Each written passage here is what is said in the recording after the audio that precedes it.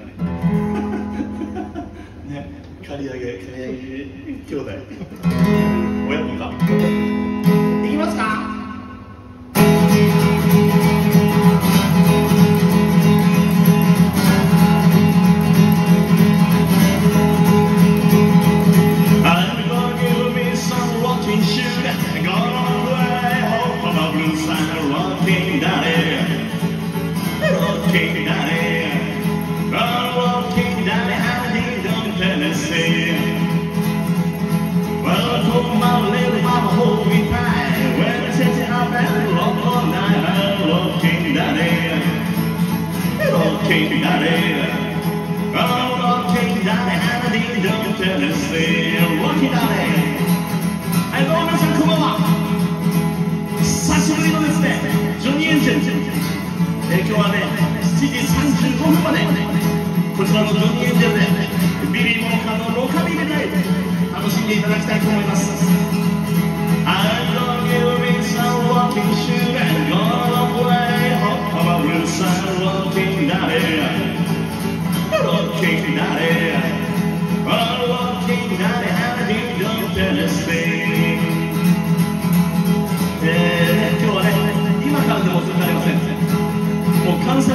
Tarantino, Johnny Depp. He said, "He has written a title.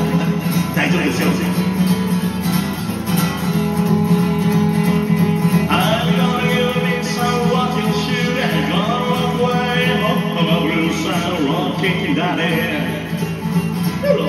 Daddy,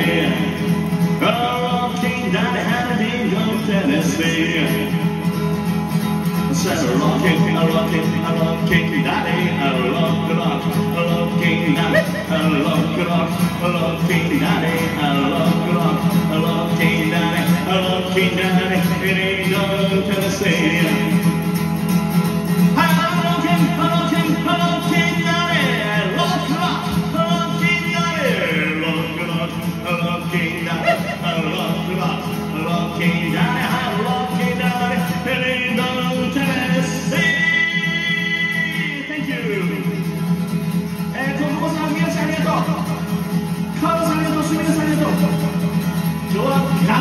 don't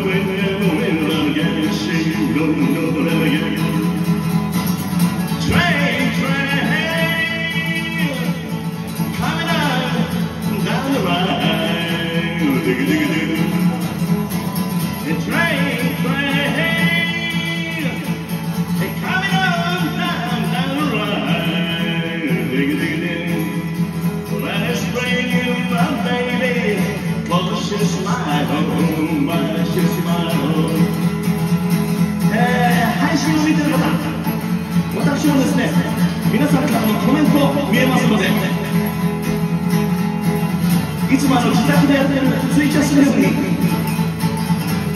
コメントいただきたいと思います。待ってます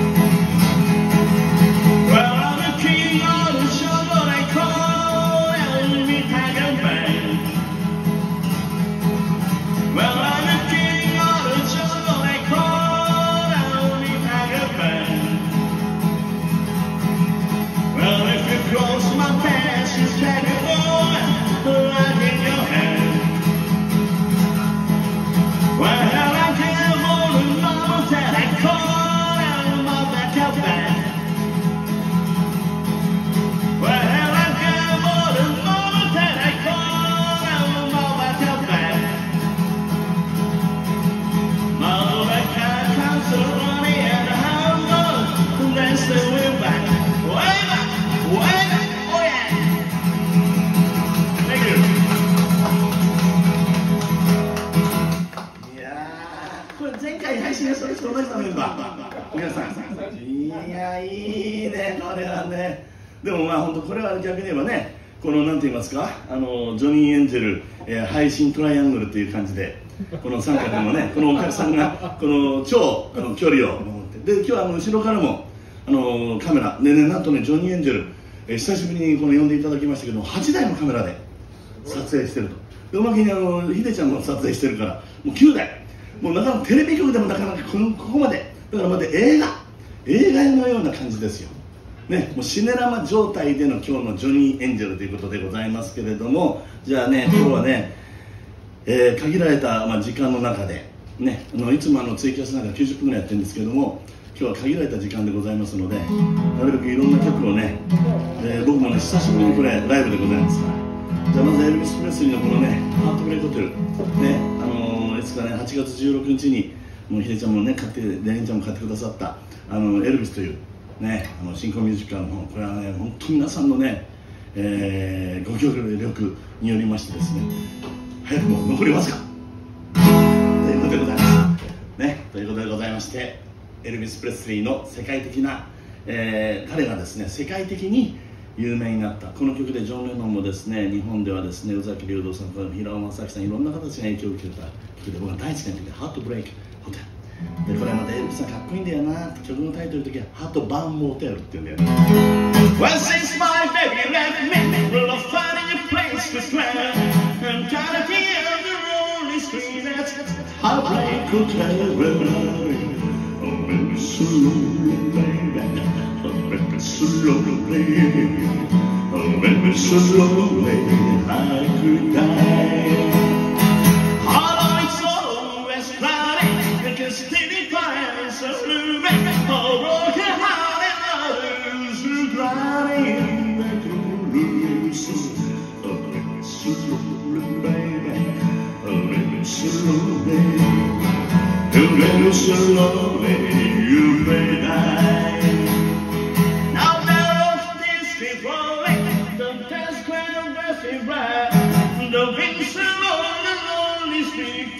Every day, baby, hour, every baby, oh, baby, oh, every baby, baby, oh, every soul, baby,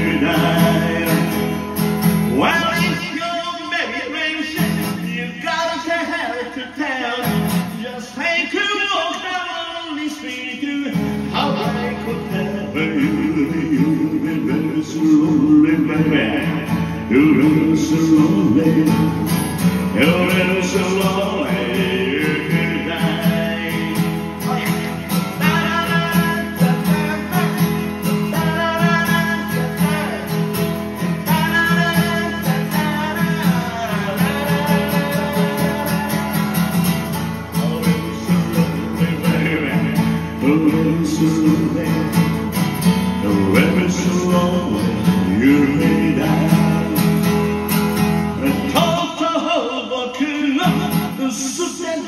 しまった思い切って泣きたり外れこてそれでは鳥とさ一人で止まろう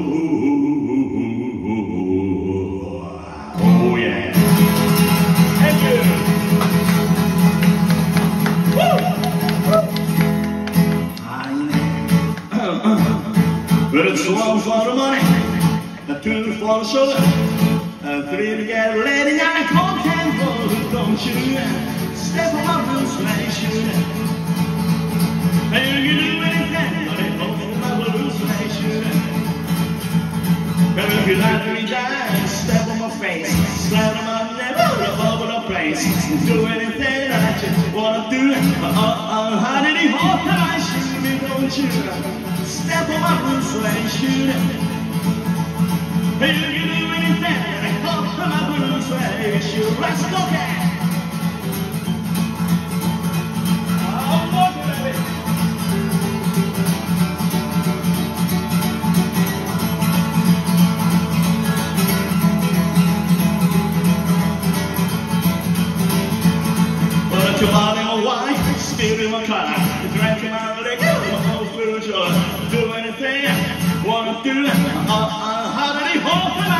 me, don't you?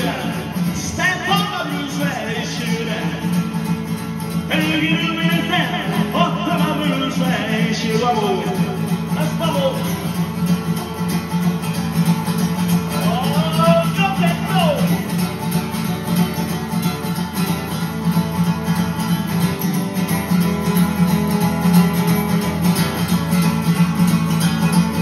on thought about it, a girl for the show, a great again.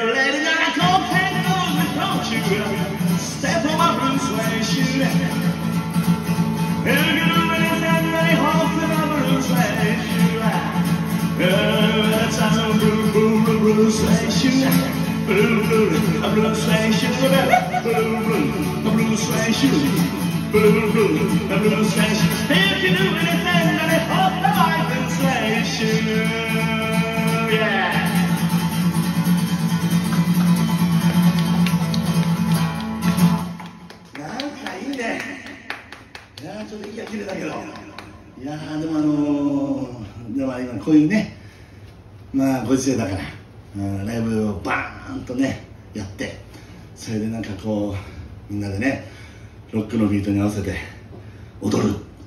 ね、こうもう本当に地域密着じゃないけど、店内密着状態で、あのロックンロールね、通じてバップ踊ってる。ああいう時がね、また来てほしいなと思ってますけれども、でもそういう中にあってね、やっぱそういうとことを、時を迎えるためには、今ね、やっぱりちょっとこの、我慢、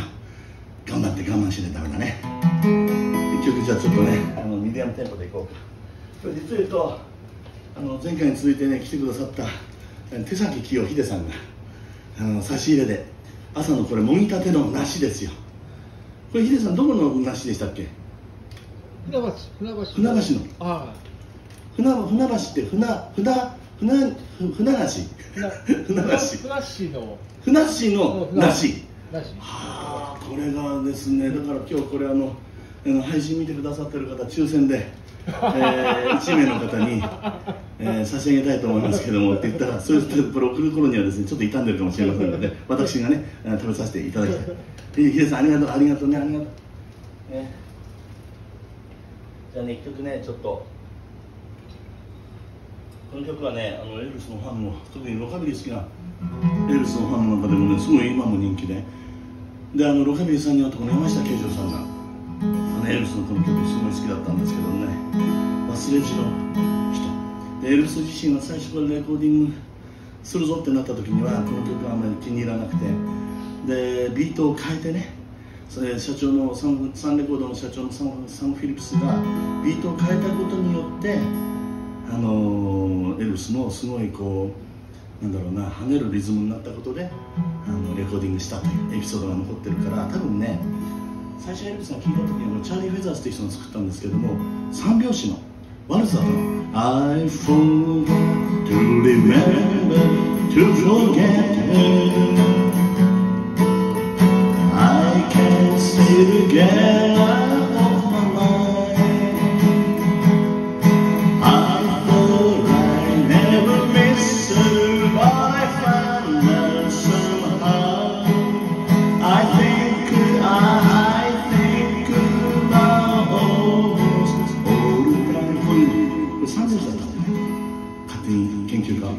推測しております。I forgot to remember to forget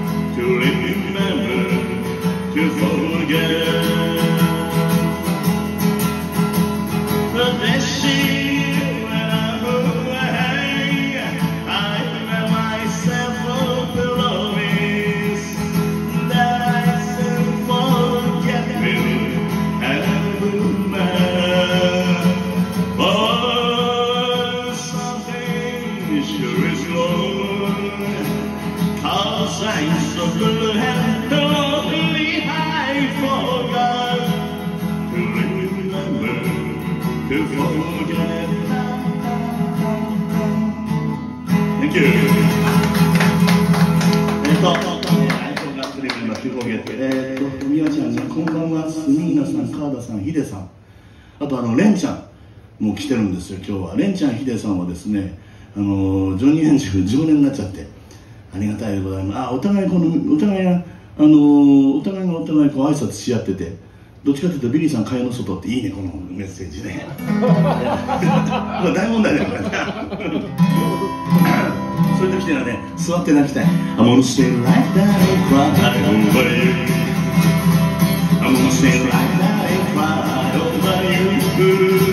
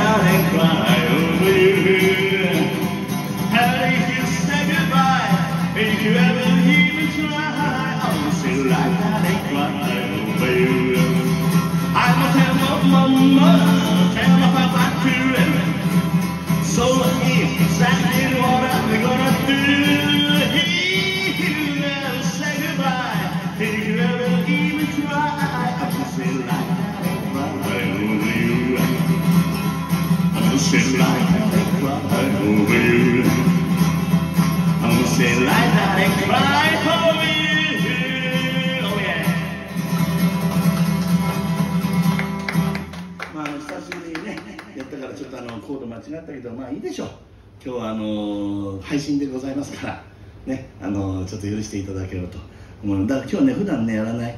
ような曲もね、あの結構やりたいよね。あのせっかくヒデさんやね、レンちゃんも来てくれたから。それで、1回目ね、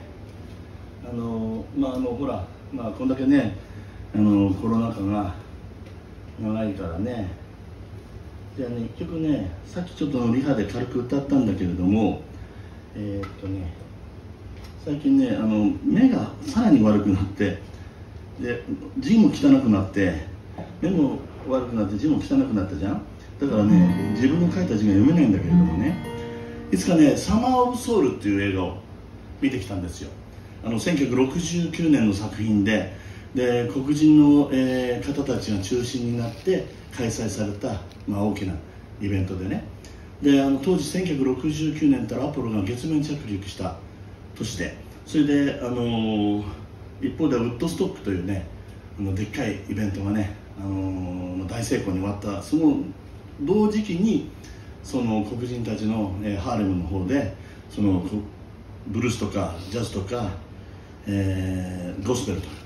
そういったあの黒人のアーティストたちが、えー中心となって黒人の人たちに向けてやったビッグイベントがあったんですけれどもこれがなんとですね本当にあの50年間その、素晴らしい映画にもかかわらずお蔵入りになってた。でそういうお蔵入りになってた映画が今この2021年に公開されてであの特にねあのフェイスブックやってるフェイスブックやってる人ってどちどちらかというとあのご高齢の方がねおじいちゃんおばちゃんおじいちゃんおばあちゃんが多いんですけれどもそういう人たちがですねいろんなところでそのサマー・オブ・ソウルすごい良かったよと。あの言ってるのでもうすぐにその人のそういうものに影響を受けやすい私ビリーさんはですねあの見に行ってきてよかったね。でその中でスティービー・ワンダーとかグラディス・ナイト・アンド・ピップスとかそれから一番やっぱりすごい印象に残ったのはあのマヘリア・ジャクソンだ。でエリマヘリア・ジャクソンというのはゴスペルの女王で、まあ、その後にマヘリア・ジャクソンの次にゴスペルの女王になっているのはアレサ・フランクリンだったんですけどもそのまあ元祖ゴスペルの女王の、えー、ですか？マヘリア・ジャクソンがね歌ってるの見て。で後ほどね2回目のステージでマイケル・ジャクソンが歌った「あのプレシェス・ロード・テイク・マイ・ハンド」っていうのは2回目でやろうかなと思ってますけどもこのステージはねエルビスがその1968年のカンバックスペシャルの中であのーあれなんですよ。ロックンロールのねその母体になっているのはゴスペルだと言ってたのでまず1回目のステージ1曲ねこのゴスペルで「Where No One Stands Alone」っていう誰も一人では立てないところというこれエルビスの1966年に、えーアルバム「偉大なるかな神」の中でレコーディングしててでこのアルバム自体はあのーグラミー賞に、ね、エルビスにとって最初のグラミー賞をもたらしたアルバムだったんですけどもその中であのエルビスが歌った僕がとっても大好きなね、えー誰も一人では立てないところ「Where No One Stands Alone」Once I stood in the night with my head bowed into darkness as bright as could be.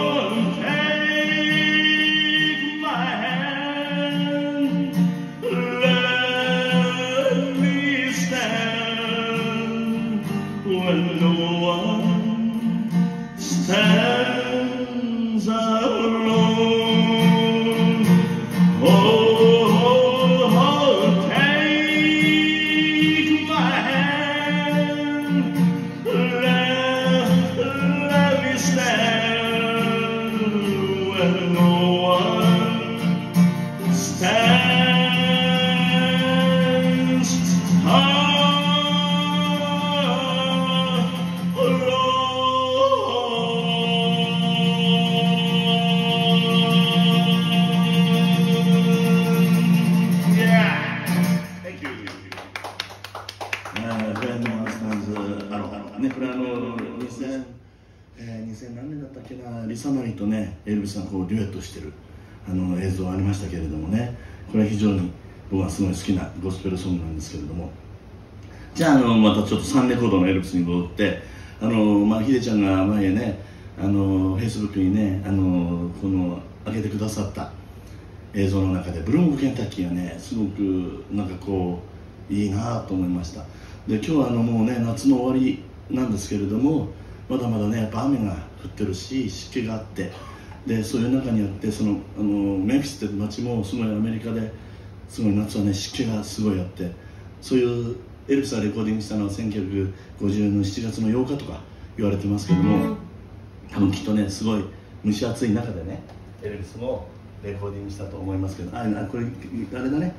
うん、えっ、ー、とそう音が響いて最高なの本当にねここねジョニー・エンジェルはね本当にいいですすみませんブラボーありがとう。みやちゃんえー、みやちゃん音が響いて最高ありがとう。うんいやいやいやじゃあね本当なんかさ あのーやっぱりねこの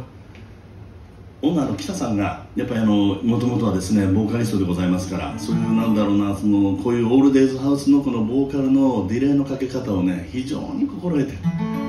だから本当にこのジョニー・エンジェルっていうこの、まあ、オールデイズのライブハウスなんですけれどもまるでどっかのホールで歌ってるんです。そういうホールで歌ってる感じの中での、えーブルーム・オブ・ケンタッキーブルームーンブルームーン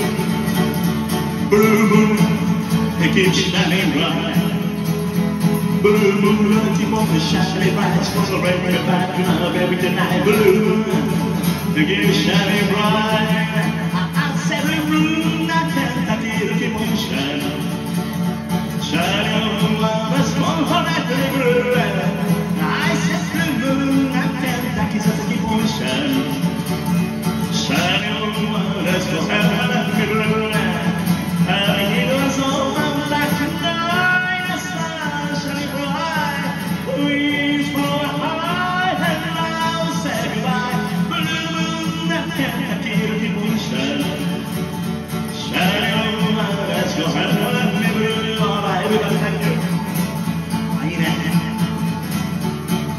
最高嬉しいなリリーもし時間がありまたら夢がある気持ち OK 時間たっぷりあるよすみません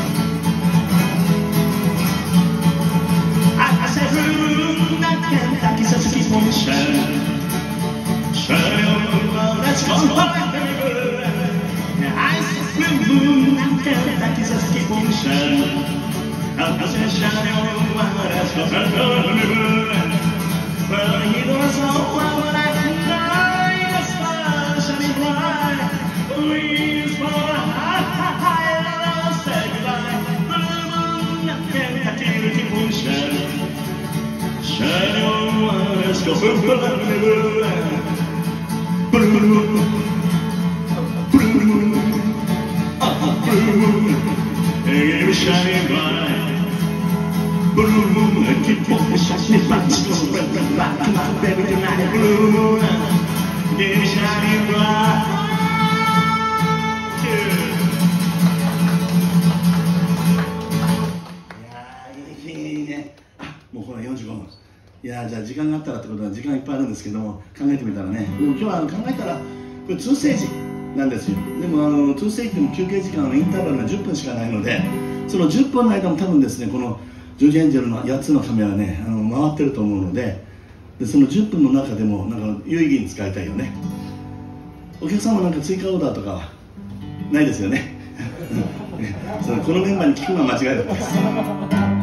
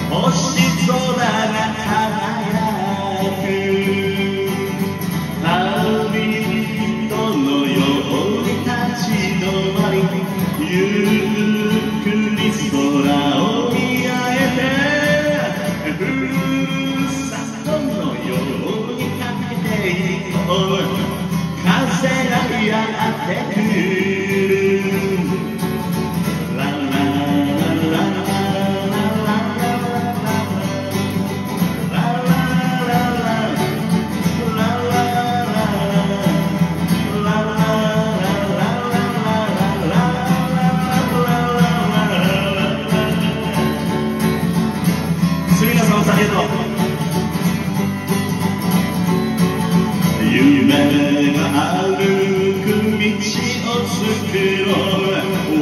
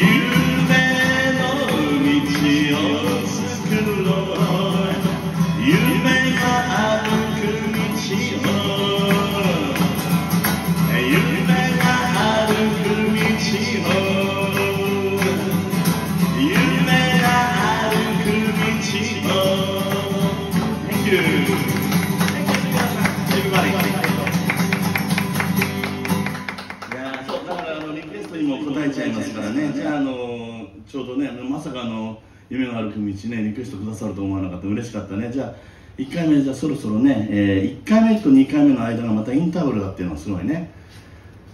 これさっきやったんだけどさ、あの失敗したらごめんなさい、ね、これあのエルビスの1976年、えーこれは2月にあのエルビスの邸宅グレースランドでレコーディングした曲でね。でエルビスは1974年ぐらいから特にね、あのーまあ、体調があまり芳しくなくて。でそのコンサートはねもうソールドアウトになってるにもかかわらず当日キャンセルになっちゃったりとかいろいろね体調が悪くて、ハプニングがあったんですけども。でそういう中にあってで一方ではあの奥さんとのねプリシャーとの離婚があってエルビスはすごい昇進のまま新しい彼女ができて、ね、すごいステディな彼女ができたんだけれどもやっぱりエルビスの心を完璧に満たすのはなかなかそこは難しくてでエルビス自身もそのワールドツアーとかそういった新しい映画スター誕生の出演話とかも全部そのなんだろうなパーカー大佐によってねなくされちゃったことによってなんかこう希望がなくなっちゃったんだね。ででレコーディングその唯一ステージに出ることは楽しかった。人と接してこうやってコミュニケーション取れるのはステージしかないっていうことでステージ出るのが楽しかった。そのステージも体調が芳しくなくてこうキャンセルするようになってきたりして。当然1975年まではスタジオ録音とかもねやったんですけれどももうスタジオ行きもなくなっちゃった。でそんな時にエルビスは契約でそのアルバムをね年何枚か作んなきゃいけないって契約だったんだけれどもその契約をちゃんと果たせないってことででもエルビスはレコーディングなんかも行きたくないと言った時にだったらこっちのレコード会社の方から機材をエルビスの家に持ってってそこでレコーディングにしようと。でエルビスのその邸宅の、まあ、地下に近い場所にはジャングルルームというそこがあったんですけどジャングルルームセッションと言われてるんだけどね。そのジャングルルームであのレコーディングした、えー曲でね「ハートという心の痛でこれは1977年にエルビスがあのラストコンサートとかその映像の中でも歌ってるんだけど本当ね危機迫るものがあってで僕にはとてもねそこまでの領域には達せないんだけどもただねこうやってせっかく久しぶりにジョニエンで歌わせていただいてるし、えー、ひでちゃんやねレンちゃんわざわざ店まで足運んでくださったしでこうやって、あのーね、配信を見てくださってるみんなのためにもねじゃあ1回目最後はこの「ハートという曲をねやってみたいなと思っております。エルビスってねあの42歳で亡くなっちゃいましたけどあの後多分生きたらオペラみたいなねそういう歌唱法でそういう熱唱絶唱ものをたくさん歌ったと思うんだけど今もしエルビスがあの生きていたら僕はねきっとねすごい原点に戻ってエルビスの原点というのは彼はギター一本で歌を歌って人を感動させるっていうことをしてたんですね。僕はきっとそうじゃないかなと思ってそんなエルプスの気持ちになったつもりでこの「ハート1回目最後お届けしましょう。